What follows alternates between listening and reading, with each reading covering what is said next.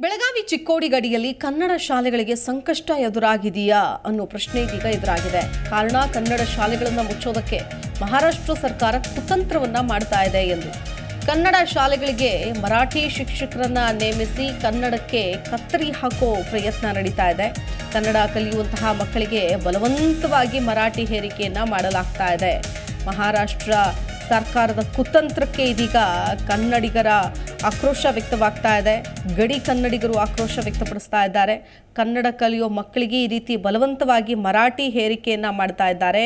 ಇದು ಎಷ್ಟರ ಮಟ್ಟಿಗೆ ಸರಿ ಅಂತೇಳಿ. ಜತ್ತಾ ತಾಲೂಕಿನ ಕನ್ನಡ ಶಾಲೆಗಳಲ್ಲಿ ಮರಾಠಿ ಶಿಕ್ಷಕರ ನೇಮಕ ಮಾಡಿದ್ದಾರಂತೆ. ಮಹಾರಾಷ್ಟ್ರ ಸರ್ಕಾರದ ಕುತಂತ್ರಕ್ಕೆ ಗಡಿ ಕನ್ನಡಿಗರು ಆಕ್ರೋಶ ವ್ಯಕ್ತಪಡಿಸ್ತಾ ಇದ್ದಾರೆ.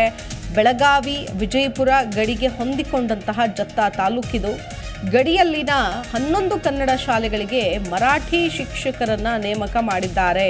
ಸೊ ಈ ಮೂಲಕ ಕನ್ನಡ ಶಾಲೆಗಳನ್ನೇ ಮುಚ್ಚಿಸ್ಬಿಡೋಣ ಅನ್ನೋ ಒಂದು ಹುನ್ನಾರ ಏನಾದರೂ ನಡೀತಾ ಇದೆಯಾ ಇಲ್ಲಿ? ಕನ್ನಡ ಶಾಲೆಗಳಿಗೆ ಮರಾಠಿ ಶಿಕ್ಷಕರನ್ನ ನೇಮಿಸಿ ಕನ್ನಡಕ್ಕೇನೆ ಕತ್ತರಿ ಹಾಕೋದಕ್ಕೆ ಮುಂದಾಗ್ತಾ ಇದ್ದಾರೆ.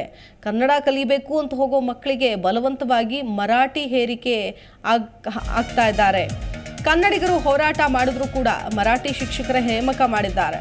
ಜತ್ತಾ ತಾಲೂಕಿನಲ್ಲಿ ನೂರ ನಲವತ್ತೈದು ಶಾಲೆಗಳಿಗೆ ಬೇಕಾಗಿರೋದು ನಾನೂರು ಜನ ಶಿಕ್ಷಕರು. ನಾನೂರು ಜನ ಶಿಕ್ಷಕರ ಪೈಕಿ ಇನ್ನೂರ ಎಂಬತ್ತು ಶಿಕ್ಷಕರು ಮಾತ್ರ ಸೇವೆ ಸಲ್ಲಿಸ್ತಾ ಇದ್ದಾರೆ. ಕನ್ನಡ ಶಿಕ್ಷಕರ ಕೊರತೆ ಮಧ್ಯೆ ಹನ್ನೊಂದು ಶಾಲೆಗಳಿಗೆ ಮರಾಠಿ ಶಿಕ್ಷಕರ ನೇಮಕ ಆಗಿದೆ.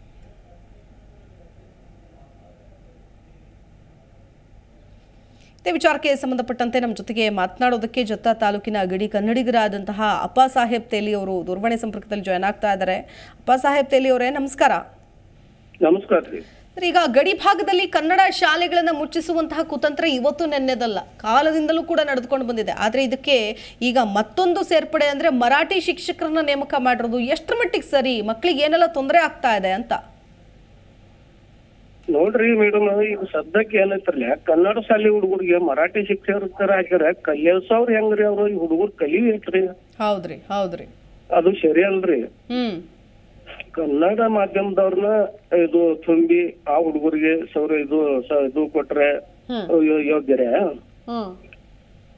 ಮತ್ತು ಮೇಲಾಗಿ ಏನೈತ್ರಲ್ಲ ಈಗ ನಮ್ದ ಇದ್ರಾಗ ಗಡಿನಾಡ ಕನ್ನಡ ರೀ ಅವು.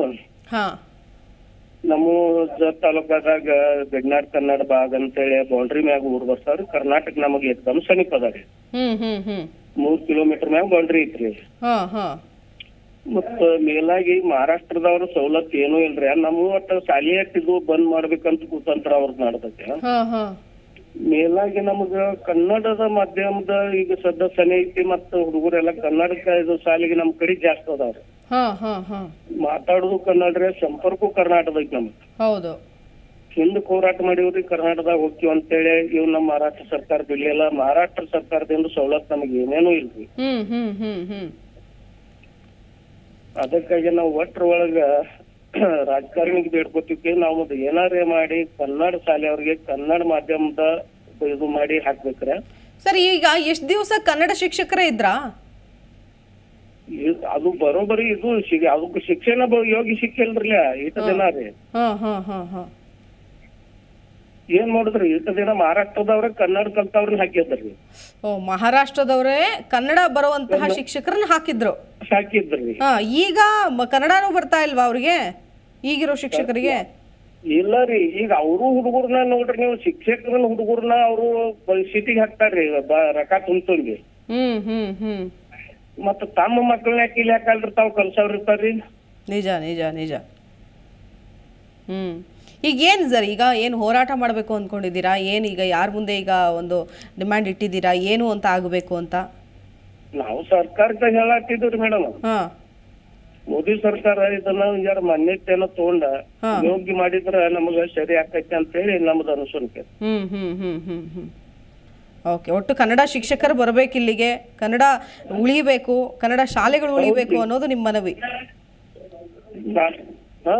ಹಾ ಓಕೆ ಧನ್ಯವಾದ ಅಪ್ಪ ಸಾಹೇಬ್ ಅವರೇ ನಮ್ಮ ಜೊತೆಗೆ ಮಾತನಾಡಿದ್ದಕ್ಕಾಗಿ. ನೋಡಿ ಅಲ್ಲಿನ ಜನ ಹೇಳೋದು ಏನು ಅಂತಂದರೆ ಯಾವ ರೀತಿ ಕಲಿಸ್ತಾರೆ ಇವರು? ಕನ್ನಡ ಶಾಲೆಗಳು ಅಂತಿದ್ದ ಮೇಲೆ ಕನ್ನಡ ಶಿಕ್ಷಕರನ್ನೇ ನೇಮಕ ಮಾಡಬೇಕು.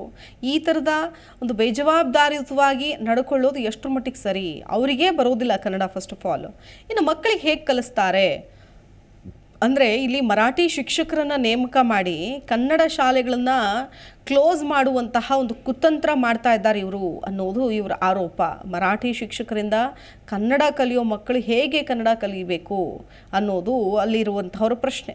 ಕರ್ನಾಟಕ ಸರ್ಕಾರ ಗರಿ ಕನ್ನಡಿಗರ ಸಮಸ್ಯೆಗೆ ಸ್ಪಂದಿಸೋ ಕಾರ್ಯಕ್ಕೆ ಮುಂದಾಗಬೇಕು ಅಂತ ಕೂಡ ಆಗ್ರಹಿಸ್ತಾ ಇದ್ದಾರೆ. ಈ ಕಡೆ ಕರ್ನಾಟಕ ಸರ್ಕಾರ ಕೂಡ ಇವ್ರ ಕಡೆ ಗಮನ ವಹಿಸಬೇಕು. ನೋಡಿ ಈಗ ಅವರು ಒಂಥರ ಅಲ್ಲೂ ಇಲ್ಲ, ಇಲ್ಲೂ ಇಲ್ಲ, ಅತಂತ್ರದ ಪರಿಸ್ಥಿತಿ ಅನ್ನೋಂಗಾಗ್ಬಿಟ್ಟಿದೆ ಈ ಭಾಗದ ಕನ್ನಡಿಗರ ಪರಿಸ್ಥಿತಿ.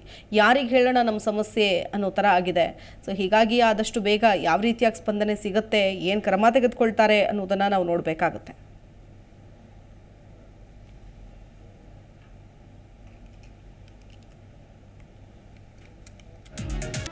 ಜಿ ಕನ್ನಡ ನ್ಯೂಸ್ ಈಗ ನಿಮ್ಮ ಮನೆಯಲ್ಲೇ ನೋಡಿ. ಎಲ್ಲ ಕೇಬಲ್ಗಳಲ್ಲಿ ಈಗ ಲಭ್ಯ. ಸನ್ ಡೈರೆಕ್ಟ್ ಇನ್ನೂರ ತೊಂಬತ್ತೆರಡು, ಜಿಯೋ ಟಿವಿ ಸಾವಿರದ ಮುನ್ನೂರ ಮೂವತ್ನಾಲ್ಕು ಯು ಡಿಜಿಟಲ್ ನೂರ ಅರವತ್ತೆರಡು.